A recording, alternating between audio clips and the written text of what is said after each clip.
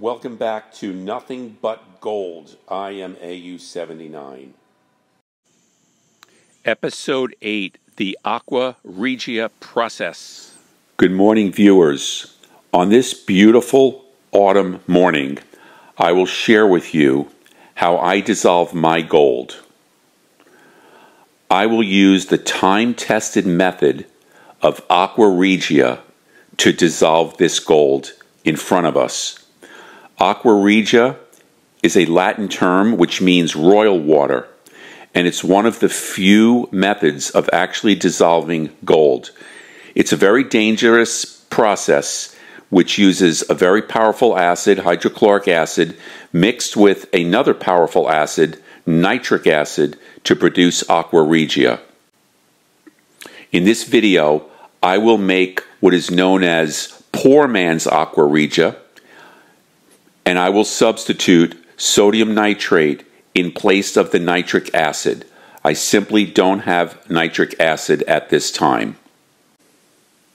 This part of the process is the most dangerous part as I will be working with dangerous acids and toxic fumes. Please be on your game. That means wear full safety gear and pay attention. Proceed slowly and always think ahead. I will perform this dangerous process with zero distractions. That means there will be no music in the background, no audience watching, no earbuds in my ears. I need to be safe and I need to be on my game. My backyard lab bench shown in front of us is simple and efficient. It does not need to be complex to be effective. I have my gold foils in a 3 liter beaker. The foils are covered with approximately 1 liter of hydrochloric acid. That beaker is sitting in a cooktop safe casserole dish on my hot plate. Naturally, I have a watch glass on top of the beaker to prevent any loss of gold. And that whole setup is sitting in a large pan to catch any overflow, should there be one. Probably not. When the HCl begins to boil, I will slowly, repeat slowly, add my sodium nitrate in 1 8 teaspoon additions.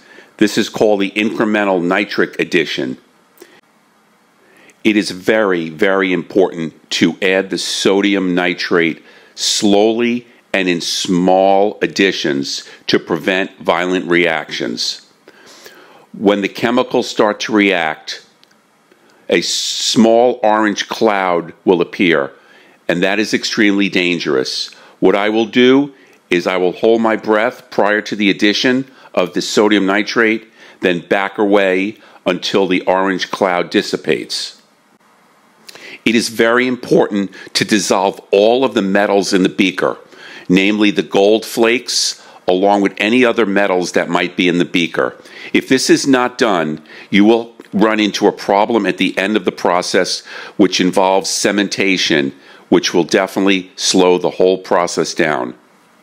It is time to dissolve some gold. So I have employed some forward thinking here to make the aqua regia process safer and more efficient.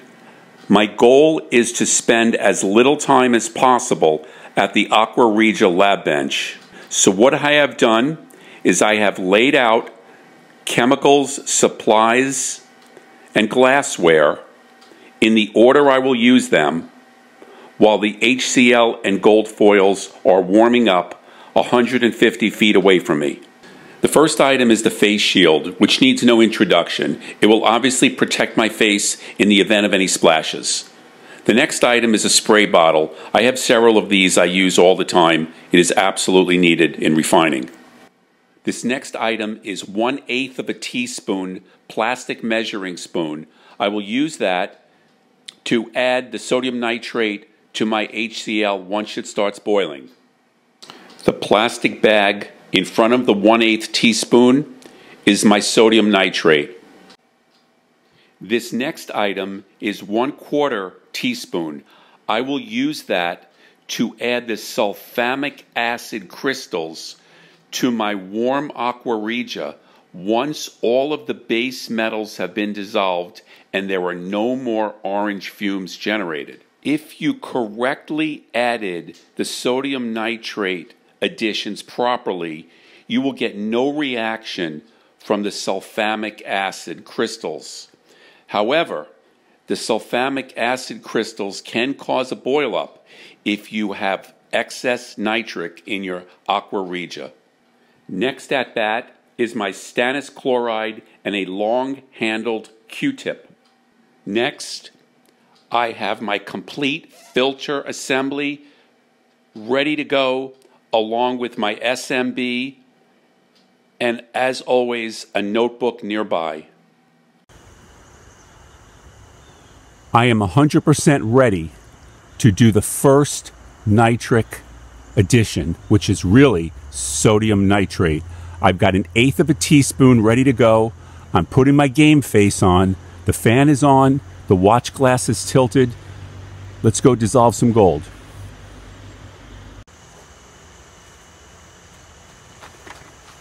All right, let's add some sodium nitrate.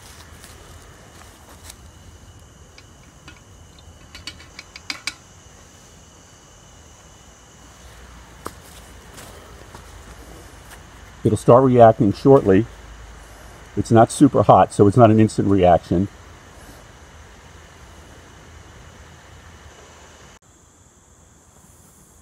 So it looks like the reaction is over. I have added five 1 8 teaspoons of sodium nitrate incrementally until there was no more reaction. I have since turned the heat off, took the watch glass off, and I'm going to let it cool down. I never really did see the big orange cloud, and there's a couple of theories for that. Number one, my sodium nitrate is about a year old. I'm hoping that's not the problem. But more likely, I probably had more HCl than I needed for the amount of gold foils that were in there. We shall see. But I can see from here that all the gold is dissolved and there's a lot of garbage on the top of the solution. So now I'm going to slowly add sulfamic acid crystals. I'm going to add an eighth of a teaspoon at a time. If it reacts, and it can react violently if you add too much, if it reacts, that means I added too much nitric.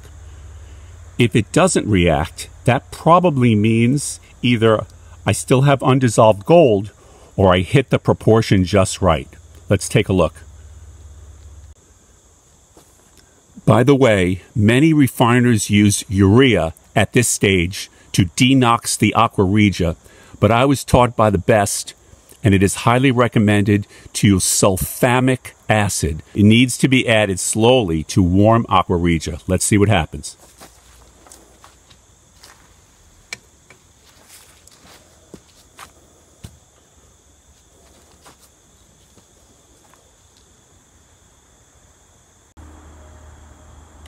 So now comes the fun part. We're going to test for dissolved gold. Got a lot of bits of solder mask on there. So we dip that into our solution. And we're going to test it with stannous chloride. Here goes. Black.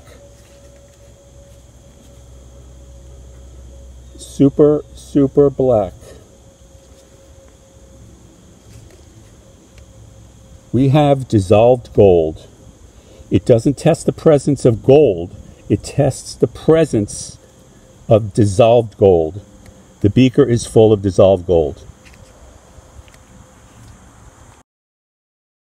So the contents of the beaker is no longer aqua regia.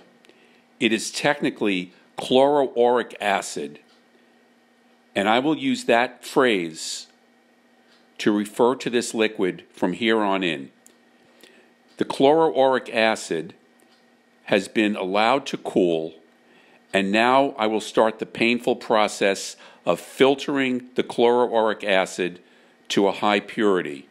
There's a lot of solder mask bits on the surface and probably some impurities in the liquid. Well, the good news is there's no fumes. There might be a few vapors, but the fumes are gone. They never really show themselves. So we're going to start the process of filtering. This could take a while. Always wet your filters. Here goes.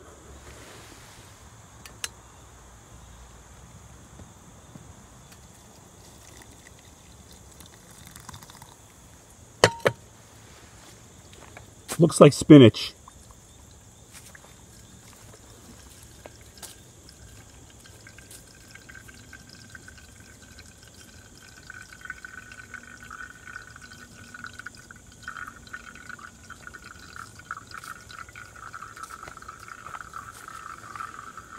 Do you see the beautiful golden color?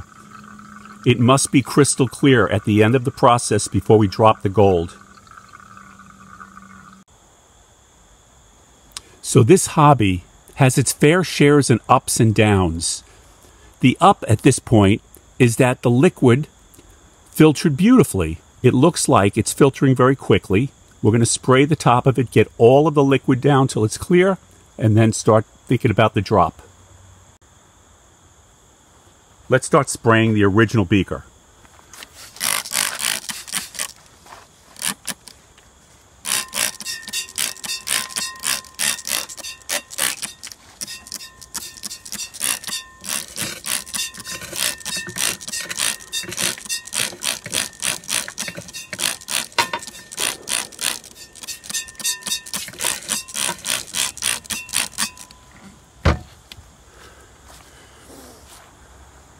Now we'll transfer this liquid, which contains gold in solution, to the main filter beaker.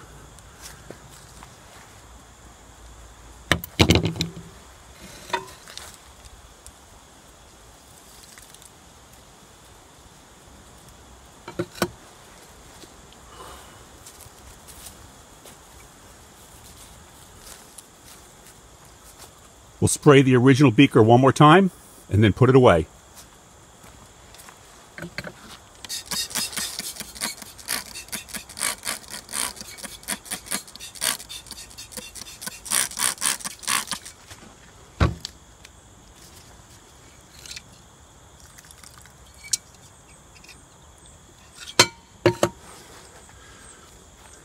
Totally concentrated on what I'm doing with no distractions. Last year, I tipped my Aqua Regia over and I lost some of the gold. But this time, I'm going to be 100% focused, hold everything squarely, pour confidently, and have a very, very high efficiency here. So I added another filter, a smaller one, to divide the load of the junk at the top of the main filter. And uh, we're going to get this process rolling.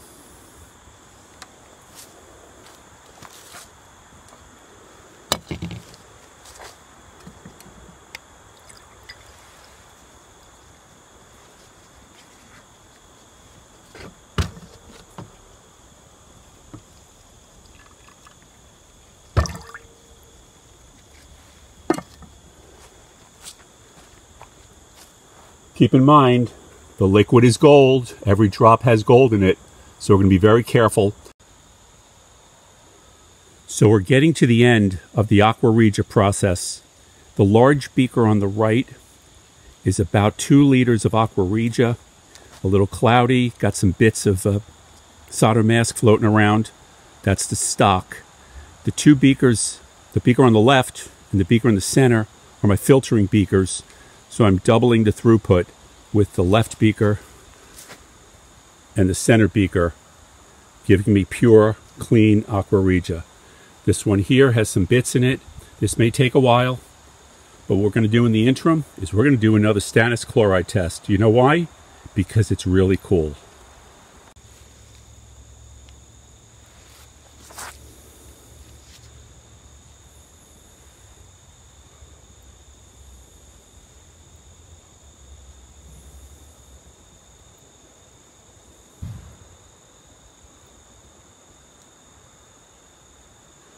Boom. instant brown, instant dark. There's gold in there.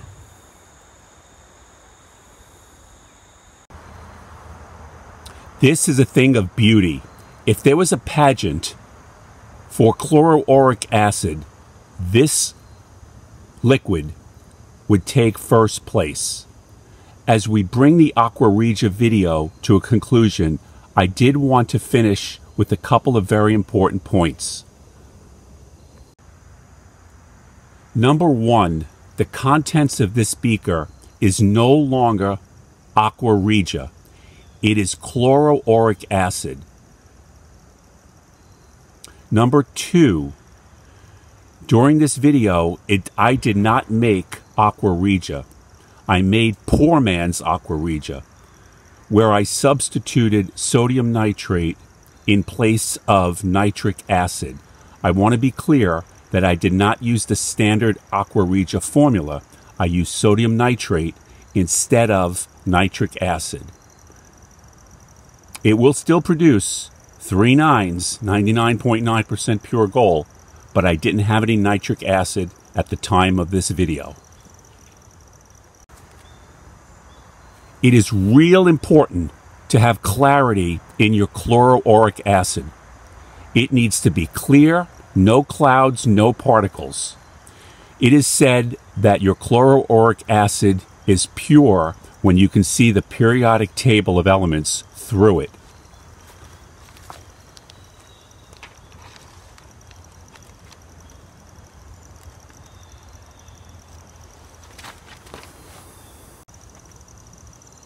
And finally, on a procedural note, you will notice that my tabletop and my workspace is super clear. It is free of clutter, objects, and items that might cause mishaps. Not interested in mishaps, not at this point in the process. And you will notice I take great care in my workplace to avoid mishaps by eliminating clutter. Thank you for watching. The gold drop will occur in the next video.